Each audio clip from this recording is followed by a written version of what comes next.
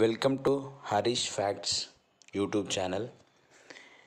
ఈరోజు పోలీస్ డిపార్ట్మెంట్లో తెలంగాణ రాష్ట్రంలో పోలీస్ శాఖలో ఉన్న పదిహేడు వేల పైచిల్కు పోస్టులు ఏవైతున్నాయో వాటికి ఏ విధంగా ప్రిపేర్ అవ్వాలి వాటి యొక్క ఫిజికల్ మేజర్మెంట్స్ ఏ విధంగా ఉంటాయి అట్లాగే ఎగ్జామ్ ప్యాటర్న్ ఏ విధంగా ఉంటుంది అని తెలియజేయబోతున్నాం. సో మామూలుగా ఎస్ఐ కానీ కానిస్టేబుల్ కానీ ఫైర్ కానీ ఏఆర్ కానీ అలాగే టీఎస్ఎస్పి కానీ ఈ పోస్టులు ఏవైతే ఉన్నాయో ప్రతి దానికి ఫస్ట్ ఏంటంటే ప్రిలిమినరీ ఎగ్జామ్ రిటర్న్ ఎగ్జామినేషన్ అనేది ఉంటుంది. Preliminary examination. దీంట్లో కేటగిరీస్ని బట్టి మనకు మార్కులు క్వాలిఫై అవ్వాల్సి ఉంటుంది. టోటల్గా ఎస్ఐకి కానీ కానిస్టేబుల్ కానీ రెండు వందల మార్కులతో ఒక పేపర్ కండక్ట్ చేస్తారు ప్రిలిమినరీ ఎగ్జామ్ అనేది. దీని యొక్క డ్యూరేషన్ వచ్చేసి త్రీ అవర్స్ మూడు గంటల సమయం. పేపర్ కూడా తెలుగు హిందీ ఉర్దూ. తెలుగు ఇంగ్లీష్ ఉర్దూ మూడు భాషలలో ఉంటుంది. తెలుగు ఇంగ్లీష్ అండ్ ఉర్దూ భాషలలో ఉంటుంది. దీంట్లో టూ హండ్రెడ్ మార్క్కి ఈ ప్రిలిమినరీ ఎగ్జామ్ కండక్ట్ చేస్తారు. ఈ రెండు వందల మార్కులలో ఎస్ఐ ఎస్సీ ఎస్సీ అభ్యర్థులైతే ఎస్సీ ఎస్టీ అభ్యర్థులైతే థర్ థర్టీ పర్సెంట్ బీసీ అభ్యర్థులైతే థర్టీ ఫైవ్ పర్సెంట్ ఓసీ అభ్యర్థులైతే ఫార్టీ పర్సెంట్ రావాల్సి ఉంటుంది. అంటే రెండు వందలకు గాను ఎస్సీ ఎస్టీ వాళ్ళకైతే అరవై మార్కులు బీసీ వాళ్ళకైతే డెబ్బై మార్కులు ఓసీ వాళ్ళకైతే ఎనభై మార్కులు టూ హండ్రెడ్ కానీ రావాల్సి ఉంటుంది. ఇది దీంట్లో క్వాలిఫై అయిన తర్వాత ఫిజికల్ మేజర్మెంట్ టెస్ట్ అనేది ఉంటుంది. ఈ ఫిజికల్ మేజర్మెంట్ టెస్ట్ ఏదైతే ఉందో ఇది కంపల్సరీ అనమాట ఎందుకంటే పోలీస్ డిపార్ట్మెంట్లో ఖచ్చితంగా శారీరక ప్రమాణాలు అనేటివి చూస్తారు.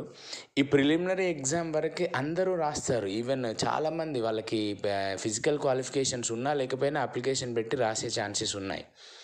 ఇక్కడ క్వాలిఫై అయిన తర్వాత ఫిజికల్కి మాత్రం కంపల్సరీగా ఎవరికైతే అర్హులో ఫిజికల్గా వాళ్ళు మాత్రమే వెళ్ళటం జరుగుతుంది. దీంట్లో కనుక చూసినట్టయితే మనకు హండ్రెడ్ మీటర్స్ అనేది ఉంటుంది.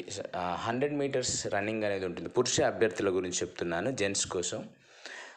జెంట్స్కి hundred metres running within fifteen seconds లోపల పరిగెత్తాల్సి ఉంటుంది. పదిహేను సెకండ్లలో హండ్రెడ్ మీటర్స్ వెళ్ళాలి. అదే ఎక్స్ సర్వీస్ మ్యాన్స్ అనుకోండి పదహారున్నర సిక్స్టీన్ పాయింట్ ఫైవ్ సెకండ్స్ లోపల రీచ్ అవ్వాల్సి ఉంటుంది. ఎక్స్ సర్వీస్ మ్యాన్స్కి కొన్ని ఎగ్జామ్షన్స్ ఉంటాయన్నమాట. లాంగ్ జంప్ అనుకోండి లాంగ్ జంప్ అయితే త్రీ పాయింట్ ఎయిట్ జీరో అంటే మూడు మీటర్ల ఎన మూడు పాయింట్ ఎనభై మీటర్లు లాంగ్ జంప్ చేయాల్సి ఉంటుంది. ఎక్స్ సర్వీస్ మ్యాన్స్ అయితే త్రీ పాయింట్ సిక్స్ ఫైవ్. మూడు అరవై ఐదు మీటర్లు ఉంటుంది. షార్ట్ ఫుట్ అనుకోండి seven point two six kgs ఏడున్నర ఏడు పాయింట్ టూ అంటే దాదాపుగా ఏడు కిలోల షార్ట్ ఫుట్ వెయిట్ ఏదైతే ఉంటుందో అది ఫైవ్ పాయింట్ సిక్స్ మీటర్స్ అంటే ఐదు పాయింట్ అరవై మీటర్లు విసరాల్సి ఉంటుంది సేమ్ ఎక్స్ సర్వీస్ మ్యాన్ కూడా సేమ్ ఉంటుంది. దీంట్లో ఎట్లాంటి ఎగ్జామ్షన్ లేదు. హై జంప్ వచ్చేసి వన్ పాయింట్ టూ జీరో. అంటే ఒకటి పాయింట్ ఇరవై మీటర్లు హైట్. దాదాపుగా క్వాలిఫైడ్ అంటే చెస్ట్ అంత దూ ఎత్తుపైన దూకాల్సి ఉంటుంది క్వాలిఫైడ్ పీపుల్ ఎవరైతే ఉంటారో. దీంట్లో ఎగ్జామ్షన్ ఎక్స్ సర్వీస్ మ్యాన్స్కి ఎగ్జామ్షన్ ఏంటంటే వన్ పాయింట్ ఫైవ్ మీటర్స్. అట్లాగే ఎయిట్ హండ్రెడ్ మీటర్స్. ఈ ఫైవ్ ఈవెంట్స్లలో ఎయిట్ హండ్రెడ్ మాత్రం హండ్రెడ్ పర్సెంట్ క్వాలిఫై అవ్వాల్సిందే. అయితే ఎయిట్ హండ్రెడే ముందు పెడుతున్నారు ఇప్పుడు.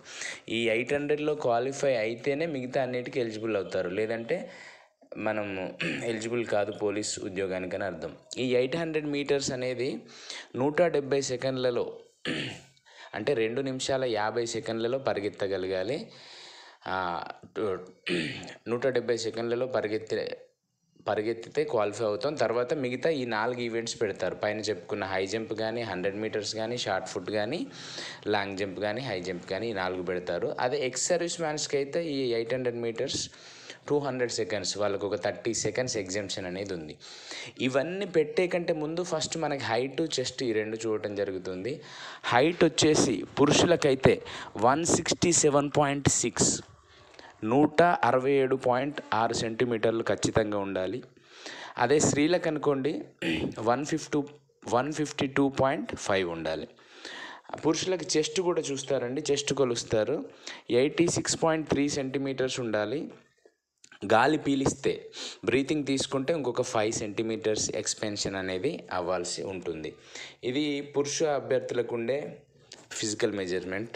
ఇంకా స్త్రీలకు కనుక చూసినట్టయితే వీళ్ళకి త్రీ ఈవెంట్స్ అండి. జెంట్స్కి అయితే ఫైవ్ ఫైవ్ ఈవెంట్స్ ఏ విధంగా అయితే ఉన్నాయో ఐదు ఏ విధంగా అయితే ఉన్నాయో ఆ ఐదిట్లో మూడు క్వాలిఫై అయితే చాలు. ఎయిట్ హండ్రెడ్తో పాటు ఇంకొక రెండు క్వాలిఫై అయితే చాలు. సివిల్ ఎస్ఐకి ఎలిజిబుల్ అవుతారు. కానీ ఏఆర్ కానీ టీఎస్ఎస్పి కానీ మిగతా వాటన్నిటికంటే కొంచెం ఫిజికల్గా ఫిట్ ఉండాలి. గ్రౌండ్ మార్క్స్ కూడా చూడటం జరుగుతుంది కాబట్టి ఐదిట్లో ఐదు క్వాలిఫై అయితేనే మనం వాటిలో రాణించగలుగుతాం. సివిల్కి అయితే త్రీ ఎయిట్ హండ్రెడ్తో పాటు ఇంకొక ఇంకొక టూ ఈవెంట్స్ క్వాలిఫై అయితే సరిపోతుంది. రైట్ ఇక్కడ లేడీస్ విషయానికి వస్తే లేడీస్కి మూడు ఈవెంట్స్ ఉంటాయండి. దీంట్లో హండ్రెడ్ మీటర్స్ అనేది వీళ్ళు ఖచ్చితంగా క్వాలిఫై అవ్వాల్సిందే. హండ్రెడ్ మీటర్స్ ఈ హండ్రెడ్ మీటర్స్ అనేది వీళ్ళు ట్వంటీ సెకండ్స్లలో పరిగెత్తాలి ఫస్ట్ వన్. ఇది క్వాలిఫై అయితేనే ఇంకొక రెండిట్లోకి వెళ్తారు. ఆ రెండిట్లో ఏదో ఒకటి ఆప్షనల్గా అంటే రెండు క్వాలిఫై అవ్వకపోయినా ఏదో ఒకటి అయితే సరిపోతుంది. అంటే టోటల్ త్రీ ఈవెంట్స్లో రెండు మాత్రం క్వాలిఫై అయితే జరు సరిపోతుంది. దాంట్లో హండ్రెడ్ మీటర్స్ అనేది మస్ట్ అండ్. లాంగ్ జంప్ వచ్చేసి వీళ్ళకి టూ పాయింట్ ఫైవ్ జీరో. అంటే రెండు పా రెండున్నర మీటర్లు దాదాపుగా వీళ్ళు లాంగ్ జంప్ వేయాల్సి ఉంటుంది. షార్ట్ ఫుట్ వచ్చేసి వీళ్ళకి ఫోర్ కేజీస్ అండి. పురుషులకైతే సెవెన్ పాయింట్ టూ సిక్స్ అన్నాం. వీళ్ళకైతే ఓన్లీ ఫోర్ కేజెస్ వెయిట్ ఏదైతే ఉంటుందో అది three point seven five metres వీళ్ళు విసరాల్సి ఉంటుంది. ఈ ఫిజికల్ మేజర్ మేజర్మెంట్లో క్వాలిఫై అయిన తర్వాత మళ్ళీ మెయిన్స్ ఎగ్జామ్ ఉంటుంది. ఆ మెయిన్ ఎగ్జామ్ ఏదైతే ఉంటుందో ఇంతకుముందు ఉన్న thirty percent thirty five percent forty percent లాగా కాకుండా ఇదేంటంటే హైయెస్ట్ టాప్ మార్కులు ఎవరికి వస్తాయో వాళ్ళని ఈ ఉద్యోగాలలో సెలెక్ట్ చేయడం జరుగుతుంది. సో ఈ ఫిజికల్ మెజర్మెంట్స్ గురించి అట్లాగే preliminary exam and mains preliminary తర్వాత చెస్ట్ హైట్ చూస్తారు. దాని తర్వాత ఫిజికల్ మెజర్మెంట్ అనేది చూడటం జరుగుతుంది. దాని తర్వాత ఫైనల్ ఎగ్జామ్ అనేది ఉంటుంది. సో ఇది నెక్స్ట్ వీడియోలో దీనికి సంబంధించిన సిలబస్ ఏ విధంగా ఉంటుంది ఏ విధంగా మనం ప్రిపేర్ అవ్వాలి ఈజీగా ఏ విధంగా మనం జాబ్ కొట్టాలి అనే దాని గురించి మీకు చెప్పడం జరుగుతుంది. థ్యాంక్ యూ అండి. మీ ఫ్రెండ్స్కి షేర్ చేయండి. అట్లాగే మీకు నచ్చినట్టయితే లైక్ చేయండి సబ్స్క్రైబ్ చేయండి. Thank you thank you so much